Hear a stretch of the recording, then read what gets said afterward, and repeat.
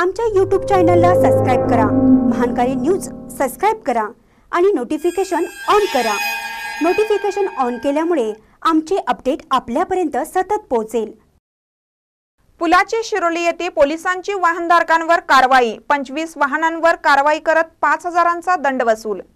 पुणे बंगळूर राष्ट्रीय महामार्गावर नागाव फाटा येथे आज दुपारी शिरोली पोलिसांनी विना हेल्मेट विना लायसन्स विना नंबर प्लेट अशा बेशिस्त मोटरसायकल स्वारांवर धडक कारवाई करत सुमारे पाच हजारांचा दंड वसूल केलाय.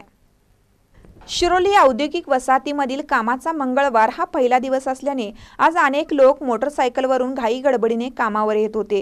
कामाच्या वेळापत्रकात व्यस्त होऊन कामे पूर्ण करण्याच्या नादात अनेकांनी हेल्मेट लायसन्स विसरून कामावरील कपड्यावरच या परिसरात फिरत असताना पोलिसांनी अचानक नाकाबंदी करत वाहन तपासणीची मोहीम सुरू केली. त्यामुळे ही कारवाई एवढ्या फौजफाट्यांसह अचानकपणे का केली? या कारवाईचं नेमकं कारण कोणतं? असा सवाल वाहनधारकांमधून उमटत होता.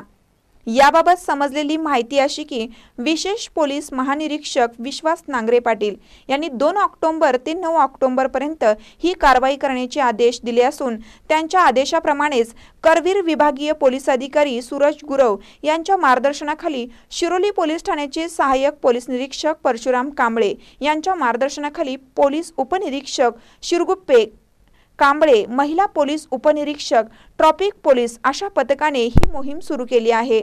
या कारवाईमुळे मात्र परिसरातील वाहनधारकांमध्ये खळबळ माजली आहे. महानकर न्यूजसाठी पुलाची शिरोलीहून कुबेर हंकारे.